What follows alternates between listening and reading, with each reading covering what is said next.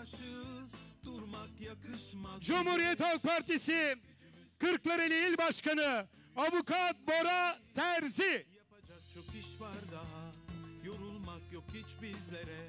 İşimiz gücümüz. Cumhuriyet Halk Partisi Kırklareli Milletvekilleri Fahri Özkan, Durmak bilmeyenlerle Gücümüz. Vecdi Gündoğdu.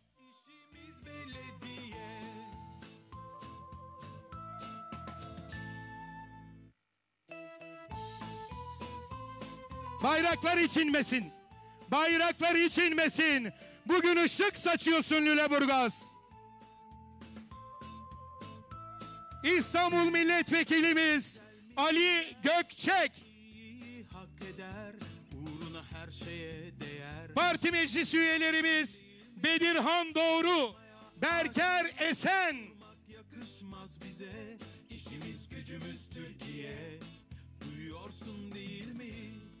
Yapacak çok iş var daha.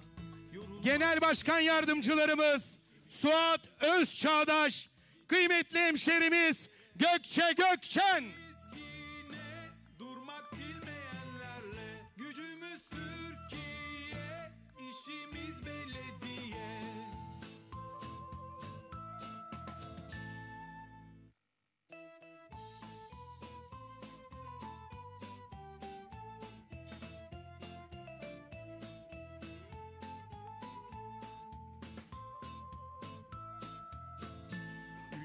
güzel mi güzel en iyi hak eder Uğruna her şeye değer Biliyorsun değil mi çalışmaya aşığız Durmak yakışmaz bize İşimiz gücümüz Türkiye Şöyle güzelce bayrakları bir görebilir miyiz? Bu coşku senin Lüleburgaz. Bugün adeta ışık saçıyorsun. 31 Mart'ta belediye başkanımız Murat Gerenli sizlere emanet. Ahmet Bey belediye başkanımız Mustafa Altıntaş.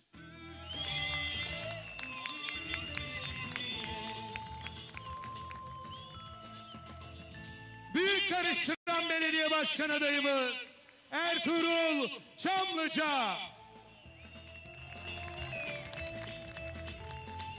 58 belediye başkan adayımız Birol Özbay.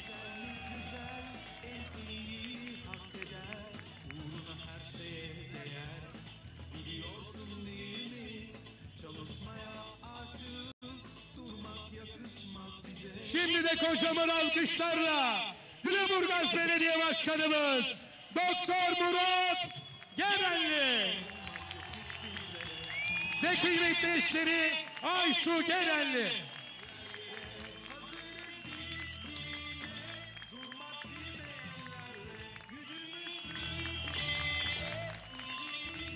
Konuşmalarını yapmak üzere Lüleburgaz Belediye Başkanımız Sayın Doktor Murat Gerenli'ye mikrofonu uzatıyorum. Merhaba. Her şeyin sevgiyle başladığı Çağdaş Cumhuriyet Kenti Lüleburgaz'ımın hanımefendileri, beyefendileri. Merhaba. Yüreği her zaman Atatürk sevgisi, vatan sevgisi ve insan sevgisiyle vatan. Trakya'mın güne bakanları gibi her zaman yüzünü aydınlığa, güneşe dönmüş Lüleburgaz'ımın aydınlık yüzlü insanları. Merhaba Lüleburgaz, merhaba.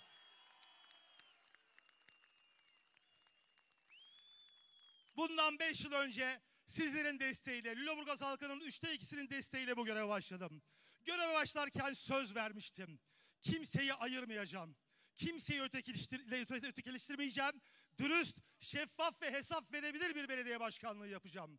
Bugün bunu başarmış olmanın, bundan sonra da aynı heyecanı taşımanın gururuyla karşınızdayım. Göreve geldiğim ilk gün mal varlığımı açıkladım. Eşimle beraber her yıl mal varlığımı açıklamaya şeffaf bir şekilde devam ediyorum. Belediye meclis toplantılarını, ihaleleri canlı yayınlamaya başladık. Ve çağrı merkezini kurduk. Artık kimse Ali'yi Veli'yi tanımıyor. Herkes Lüleburgaz Belediyesi'ne bir telefon kadar mesafede. İstekleriniz, şikayetleriniz ve talepleriniz herkese eşit şekilde davranılıp eşit şekilde karşılanıyor. Altyapımız sorumluydu. Girme başkan. Zorlanırsın kaybedersin dediler. Ben kaybedeyim Lüleburgaz kazansın dedim. Girdik. Temiz sudan kanalizasyona, yağmur sularına ciddi bir çalışma başlattık. Ama bitmedi. Daha devam etmek zorundayız. Trafik sorunlarımız vardı. Üniversitelerle işbirliği yaptık. Trafik master planı yaptık Lüleburgaz'da ve aklın, bilimin doğrultusunda dümdüz, dimdik yürüyoruz ve aydınlık geleceğimize yürüyoruz. Çok yakın zamanda sözünü verdiler. Çok uğraştık çevre yolu için. Çevre yolu yapılacak ve dere ıslahıyla beraber Lüleburgaz'ın trafik sorunu daha da rahatlayacak, çözülecek. Kentimize bir otopark kazandıracağız. Yeşil alanlarımız göreve geldiğimizde 24 tane parkımız vardı, 70 bin metrekareydi. Şu anda 35 parkımız var. 14 tane yeni park kazandırdık. 140 bin metrekare aktif yeşil alanımız var. Ama kent ormanını saymıyorum. Lüleburgaz'a kent ormanını kazandırdık. 973 bin dönüm metrekarelik yerde piknik alanları, kır kahvesi, masal vadisi, doğa izcilik kulüpleri var. Festival alanı var. Yetmedi. Önümüzdeki dönemde orada macera parkuru olacak. Yapay gölet olacak, kır lokantası olacak, karavan kamping alanları olacak, seyir terasları olacak ve Lüleburgaz'ımıza çok yakışacak.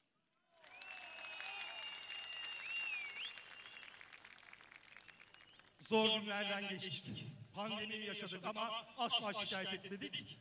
Ülkemiz ekonomik bir krize girdi. Rusya-Ukrayna savaşı, deprem felaketi ve bunların sonrasında maalesef Lüleburgaz'da insanlar yokluk, açlık sınırında yaşamaya başladılar. Sevgi mutfağını açtık. Kimse yatağa aç girmeyecek dedik. Her gün komşularımıza sıcak yemek götürüyoruz. Sevgi mağazamızı açtık. Sizlerin de desteğiyle ihtiyaç sahibi ailelerimize yılda dört kez alışveriş ortamında modern bir alanda kıyafet ve giysilerine, ayakkabılarını alma imkanı sunuyoruz. Gıda krizi yaşandı. Evlere ekmek girişi zorlandı. Biz de tarlalarımızı üretime açtık. 480 dönüm, yer, dönüm yerde üretim yapıyoruz. Oradan yetiştirdiğimiz buğday ve ayçiçeklerini una ve ayçiçek yağına dönüştürüyoruz. 3000 ailemize destek veriyoruz. 3000 Lüleburgaz'da.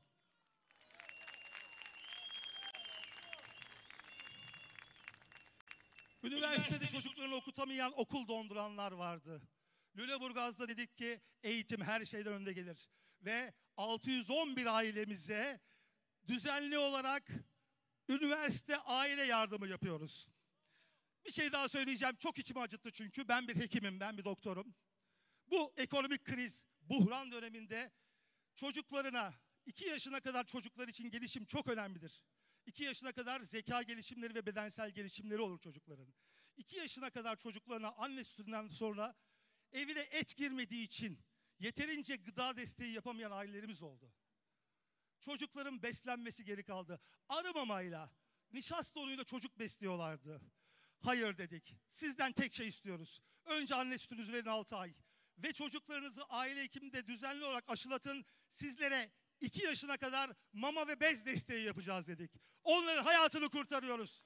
Unuttukları hayatlarını kurtarıyoruz onların. Ama sadece bunlar değil. Akademileri tamamladık. Lüleburgaz'da konservatuvar açtık. Lüleburgaz'da kadınlarımıza istihdam yarattık. Lezzet Akademimizde, Kadın Akademimizde, Sanat Akademimizde kadınlarımız, gençlerimiz geleceğe hazırlanıyorlar ve istihdam elde ediyorlar.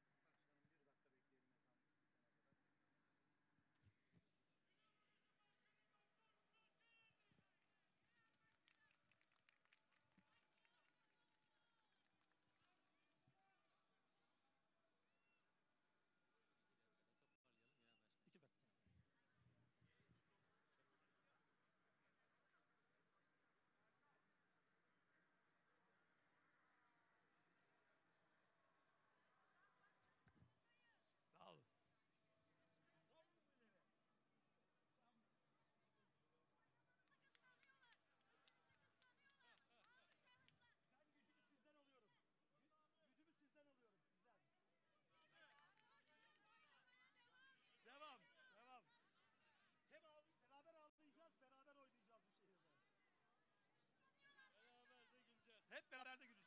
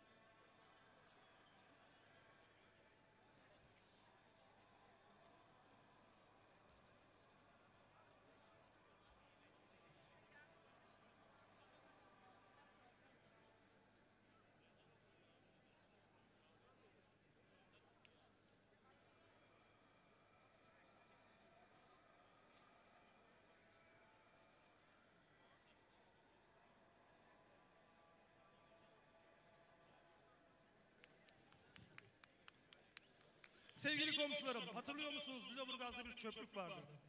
Vahşi depolama yapılıyordu TOKİ'nin orada. Oradaki köprük alanının üstünü kapattık. Orayı artık duman ve kötü kokular şehre yayılmıyor. Lüleburgaz çok daha güzel oluyor ve dönüşümü başardık. Geri dönüşümü başarıyoruz ve başarmaya da devam edeceğiz. Lüleburgaz'da kentsel dönüşüm de gerekiyordu. Depremde çok canımız yandı. Çok insanımızı kaybettik Kahramanmaraş depremlerinde. Burası da zemin sıvılaşması olan bir kent.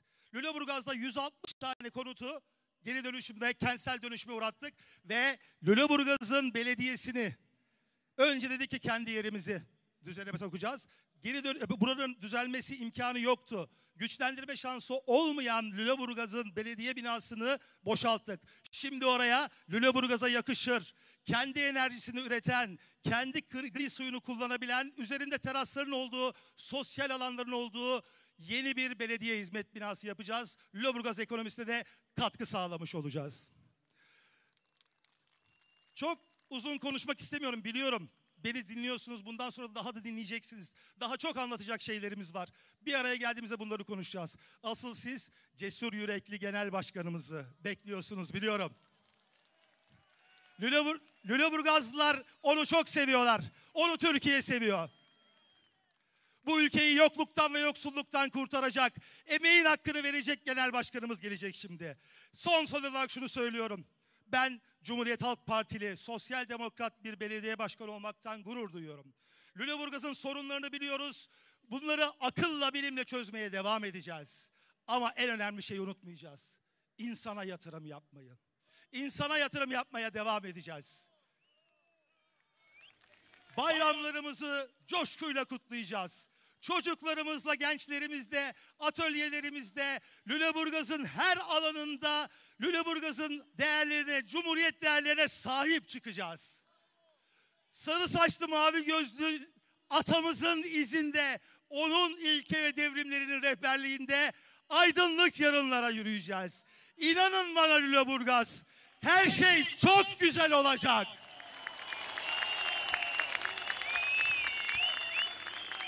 Güneşli günler göreceğiz. Güneşli güzel günler göreceğiz Lüleburgaz. Rotamız aydınlık yarınlar. Tam yol ileri. Hı.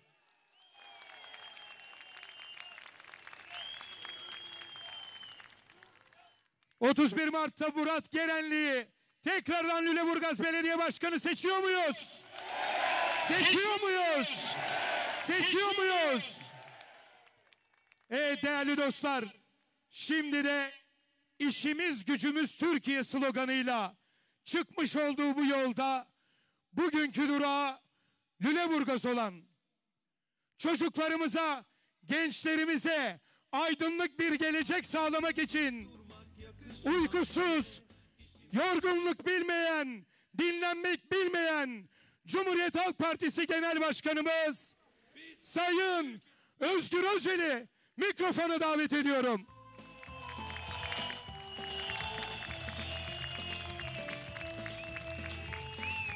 Bayrakları görelim. Çok güzelsin Lüleburgaz. Bugün adeta ışık saçıyorsun.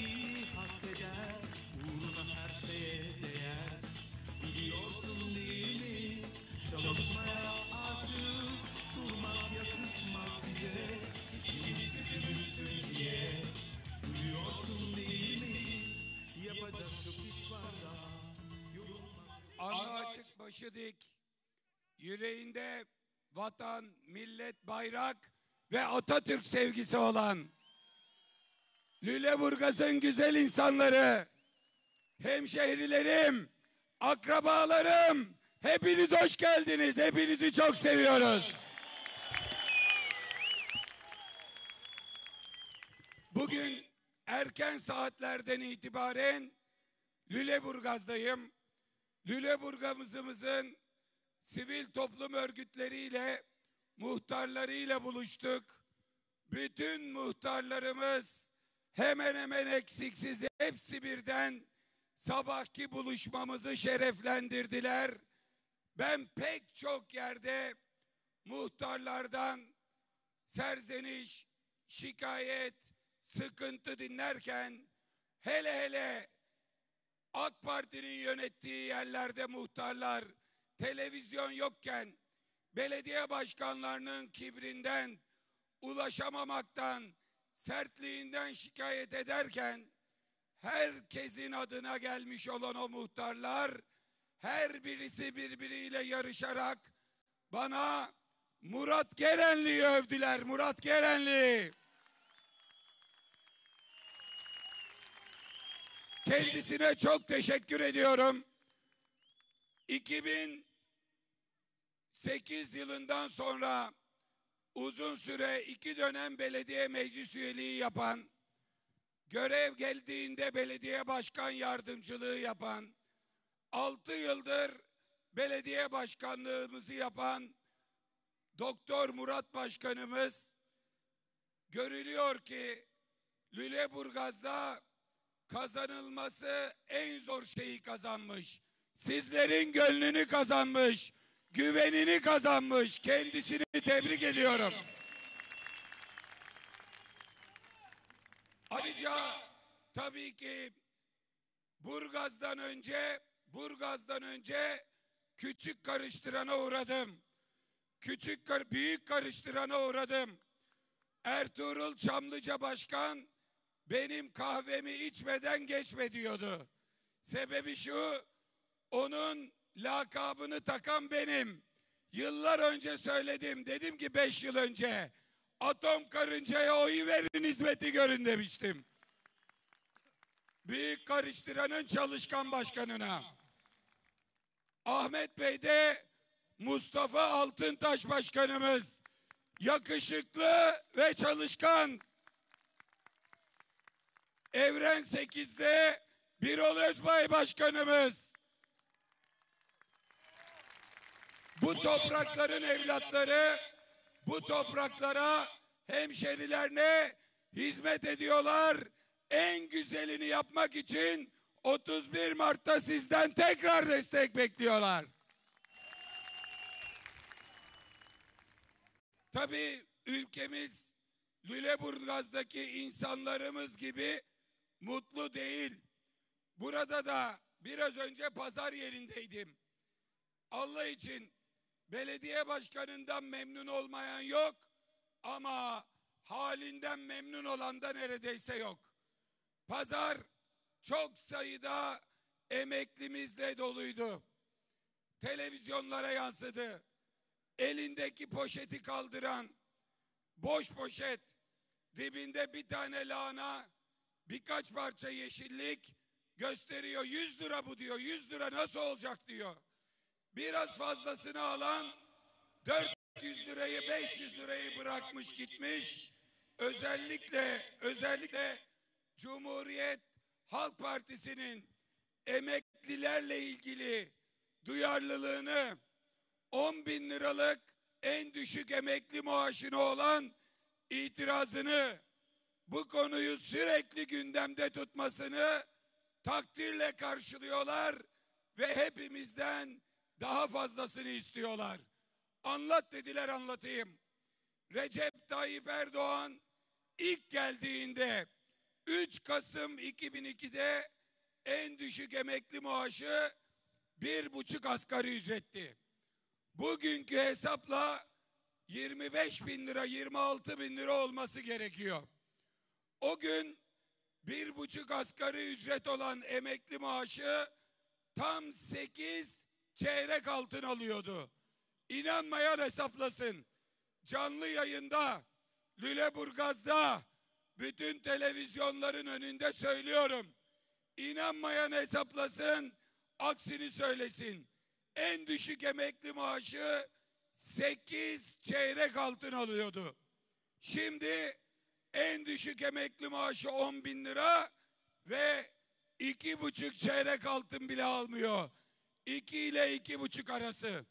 Yani Tayyip Erdoğan geldi, başbakanlık yaptı, cumhurbaşkanlığı yaptı, büyük ekonomistim dedi, ben bilirim ben dedi, emeklinin cebinden ayda beş buçuk çeyrek altını aldı. Beş buçuk çeyrek altını. Yazıklar olsun böyle iktidara. Yazıklar olsun bu anlayışa. Ey Tayyip Erdoğan, buradan sana sesleniyoruz. Biz öyle az değiliz. Milyonlarız ve hakkımızı artık sana yedirmeyeceğiz. Hakkımızı söke söke alacağız. Söke söke.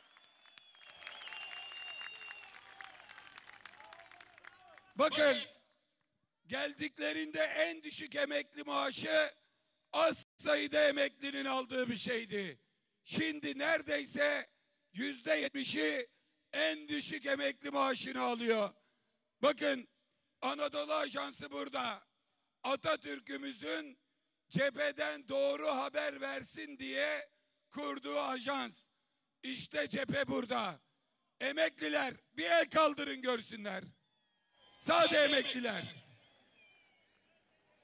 En düşük 10 bin lira alan el kaldırsın. Yüzde yetmişi 10 bin lira alıyor. Bugün pazarda 5 kişiyle konuştuysam 4 kişi 10 bin lira alıyorum diyor. 10 bin almayan da 12 bin lira alıyor. Şimdi kendisi 14 tane uçağa binen, uçan saraya binen, yazın Muğla'da yazlık sarayı olan, kışın Ağlat'ta kışlık sarayı olan, Bo Boğaz'da yüzen sarayı olan, Ankara'da bin odalı sarayı olan, yediği önünde yemediği arkasında, yedi sülalesini, eşini, dostunu, bütün çevresini o sarayda bedavaya yaşatan Recep Tayyip Erdoğan sıra emekliye gelince para yok diyor, bütçe yok diyor. Beşli çeteye gelince para var. Bakın siyaset nedir? Siyaset nedir? Siyaset öncelik belirleme işidir. Bir ülkenin her şeye parası yeter ama aynı anda hepsine birden yetmez. Ülkeyi yöneten karar verecek önceliğine. Recep Tayyip Erdoğan'ın önceliği İliç'teki 9 işçimizi öldüren o madenin yabancı şirketi Anagold'un yabancı şirketi Anagold'un vergilerini silmekte. Onunla birlikte geçen sene silinen vergilerin toplamı emeklinin istediği paraya denk geliyor. Ama diyor ki ben emekliye zam yaparsam çalışanların maaşını ödeyemem. Sanki emekliyle çalışan birbirinin karşıtıymış gibi onları karşı karşıya getirmeye çalışıyor. Çalışanlar emeklilerin talebine kulak tıkasın istiyorlar. Kulağını aç da dinle Recep Tayyip Erdoğan. Bugünün çalışanları yarının emeklileridir. Bugünün emeklileri dünün çalışanlarıdır. Çalışan da emekli de bizim canımızdır. Esas hakkımızı istediğimiz beşli çetelerdir. Saray müteahhitleridir. Senin fabrikatörlerindir. Yandaşlarındır. Hakkımızı söke söke alacağız. Söke söke alacağız.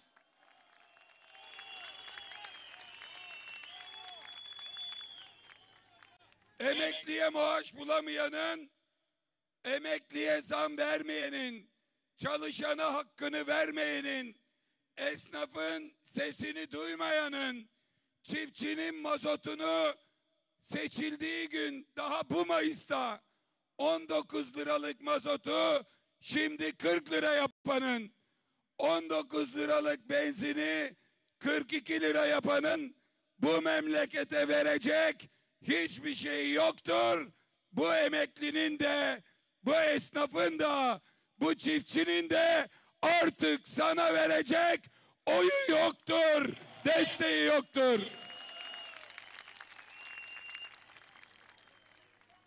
Bakın emeklilere bu attığı büyük kazık sekiz çeyrek altından beş buçuğunu çalmak oldu.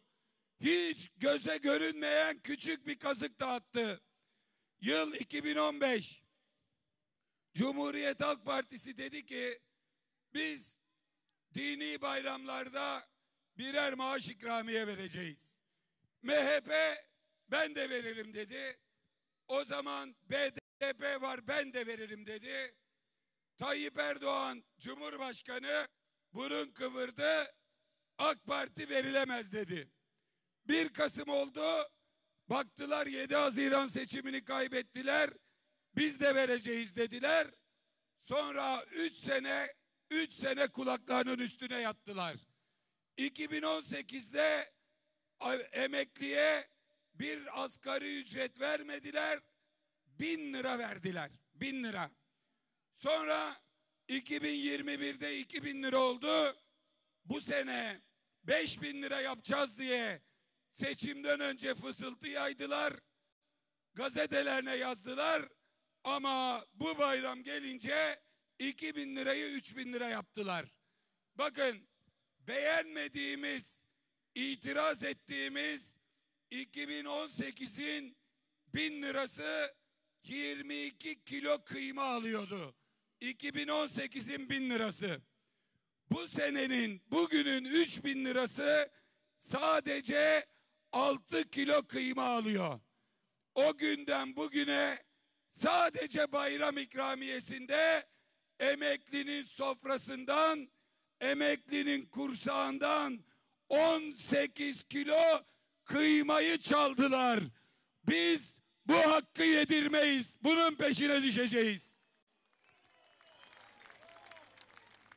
Bakın Tayyip Erdoğan'ın bir huyu var. Yukarıdan bakıyor, aşağıdakileri karınca gibi görüyor ve ezmeye çalışıyor. Emekliyi de, işçiyi de, memuru da, esnafı da, köylüyü de karınca gibi görüp ezmeye çalışıyor. Bak Recep Tayyip Erdoğan, karıncanın kardeşi var, onu sana ezdirtmeyiz. Karıncanın kardeşi Cumhuriyet Halk Partisi'dir. Cumhuriyet Halk Partililerdir.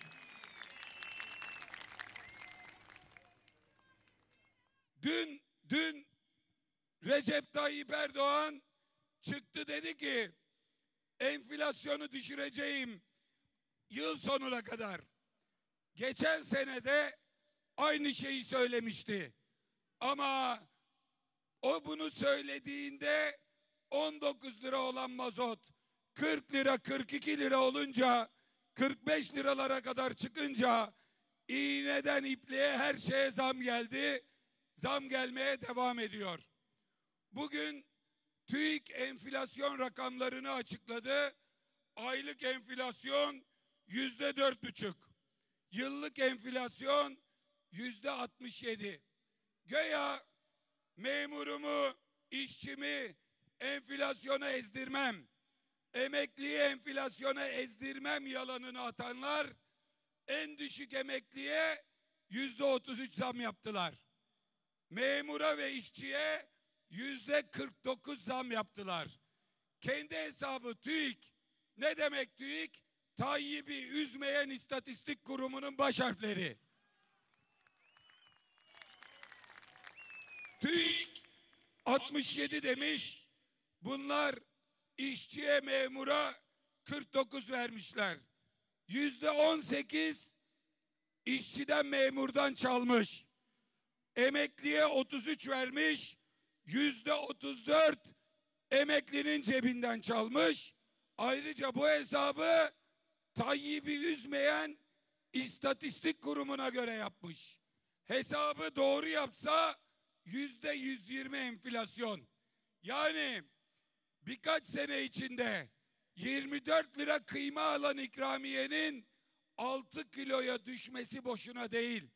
Her gün cebinizde bir el var. Her gün sizin paranızı alıyor. Sonra o istiyor ki meydanlara çıkalım, onunla kavga edelim. Efendim bunlar gelirse ezanı dindirecekler, bayrağı indirecekler, vatanı böldürecekler gibi yalanlarla esas mesele konuşulmasın istiyor. Ey Recep Tayyip Erdoğan. Evet seninle istediğin gibi kavga edeceğim. Ama kimlik siyaseti kavgası etmeyeceğim. Sen zam zam zam yaparken sen istiyorsun diye dem dem dem konuşmayacağım. Emekliyi konuşacağım. Esnafı konuşacağım. Yoksulluğu konuşacağım. işsizliği konuşacağım ben. Lüleburgaz'ın güzel insanları. Bakın 31 Mart seçimi elbette bir yerel seçim. Yapın seçimi. Seçim Murat Gerenliği hizmetlerine devam etsin. Ama esas olarak 31 Mart seçimi bu iktidar, bu emekliyi, bu yoksulları, bu işsizleri, bu mağdurları görmeden dört yıl daha dursun mu? Yoksa siyasette bir denge kurulsun mu? Bunun karşısına kimse durmasın. Ezip geçsin mi bizi?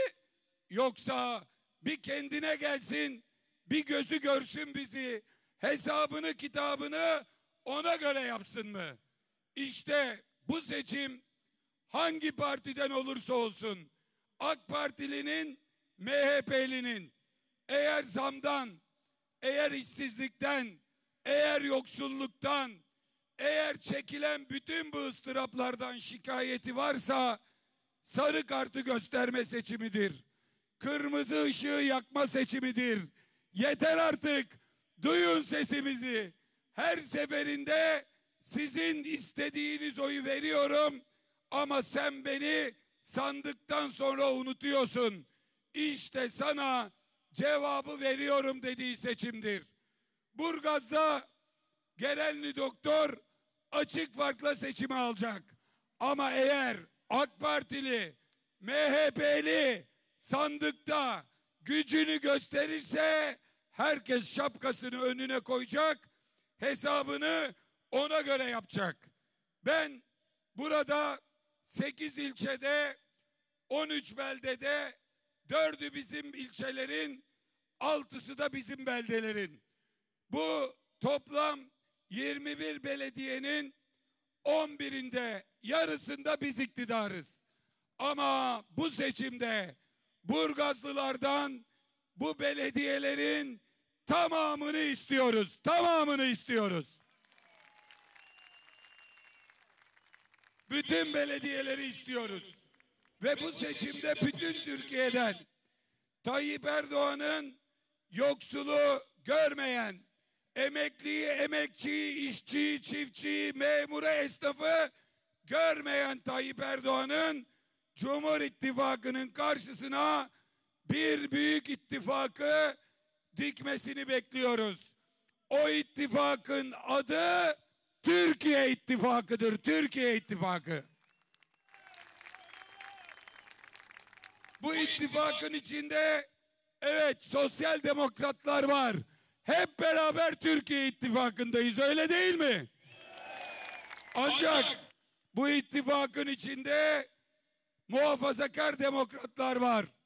Bu ittifakın içinde milliyetçi demokratlar var. Geçmiş seçimlerde birlikte olduğumuz ittifak ortaklarının kıymetli seçmenlerinin itirazı bitmedi ki ittifakımız bitsin. İtirazları saray düzeninedir. İtirazları sömürüyedir. İtirazları israfa, itirazları yolsuzluğadır.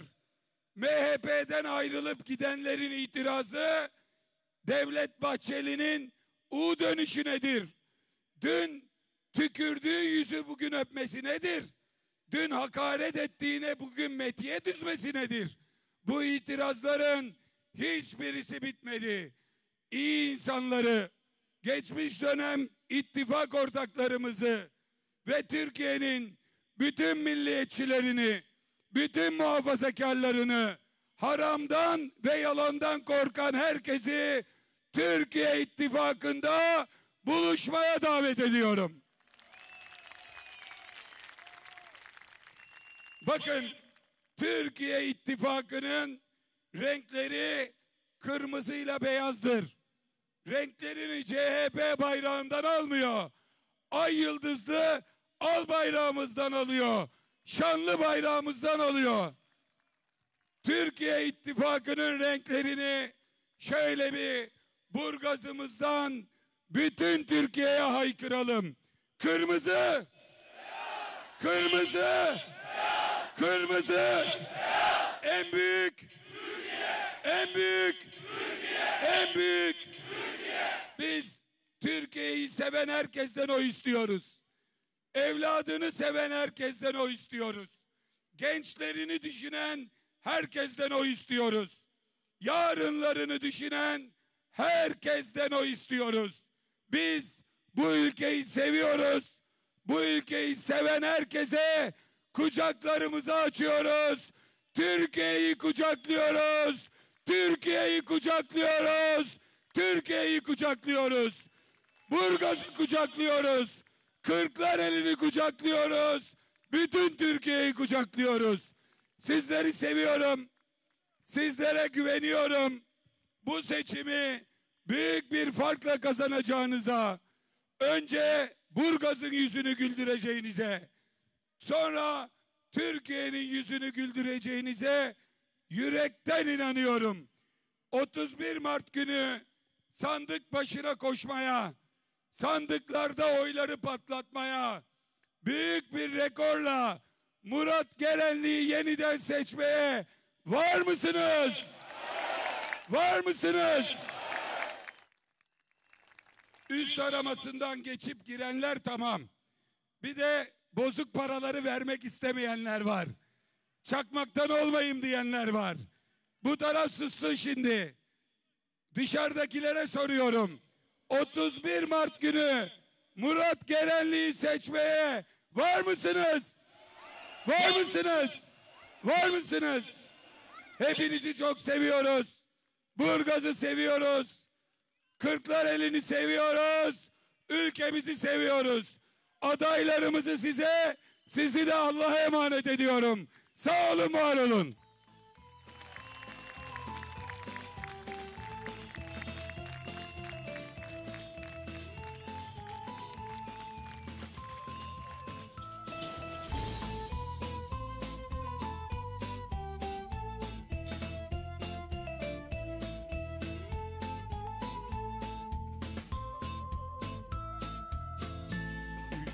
Güzel mi güzel en iyiyi hak eder. Uğruna her şeye değer. Biliyorsun değil mi? Çalışmaya aşığız. Durmak yakışmaz bize. İşimiz gücümüz Türkiye. Duyuyorsun değil mi? Yapacak çok iş var daha. Yorulmak yok hiç bizlere. İşimiz gücümüz Türkiye. Yetişiriz her yere. Hazırız biz